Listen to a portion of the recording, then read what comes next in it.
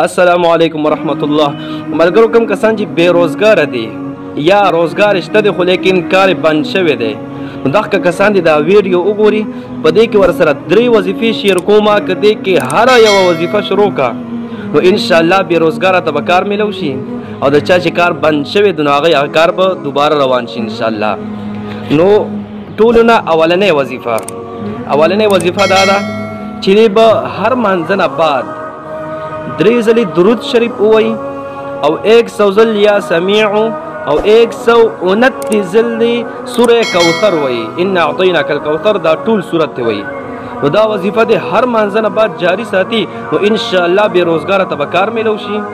او کچره د چاکار بنشي وینو به دوباره روان شي یو وظیفه شوه دویمه وظیفه دویمه وظیفه داسې ده چې مازیګر مانځنه بعد دې درې ځله درود شریف وایي او 1000 ځله دې یا سمیع وایي صرف یو لفظ یا سمیع 1000 ځله نو کچره مازیګر نه بعد څوک ویلی نشي ماخام نه بعد هم دا وظیفه جاری ساتل شي درې ځله درود شریف او 1000 ځله یا سمیع نو ان شاء الله کار روزګار به مو برابر شي دوه وظیفې شوې درېمه وظیفه درېمه وظیفه داسې ده چې په اورس کې بس چې هر ټیم تاسو ویل شي نو دا وظیفه ویل شي 1000 ځله به لا حول ولا قوت الا بالله وای او 1500 ځله به استغفار وای استغفر الله استغفر الله 1500 ځله